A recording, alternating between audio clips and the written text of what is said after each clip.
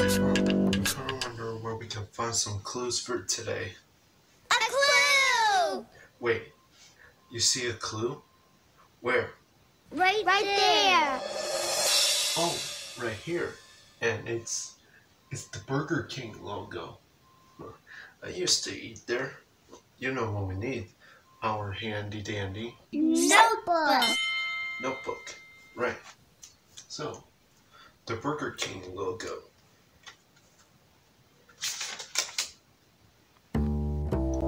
Let's write the word burger in the middle and king right underneath it. Then we can draw a semicircle on the top for a bun and another for the bottom. And there, the Burger King logo.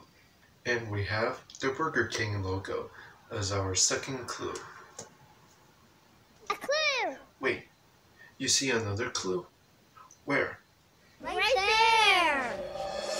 Oh, right here. It's in the same spot. Our our second clue for today is is a volcano. Hmm, Where have I seen a volcano before? We're sorry about that, ladies and gentlemen. We're experiencing some clue technical difficulties. Please stand by.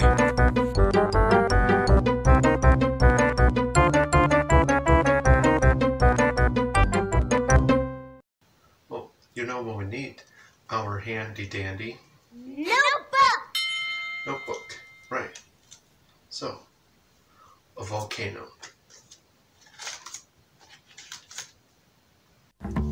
Let's draw this curving shape that goes around like this. And uh, the curvy line on the top for lava. And there, a volcano. And we have a volcano as our third clue. Did you hear what I just said? Our third clue. You know what that means. We're ready for our Thinking chair. thinking chair. Let's go.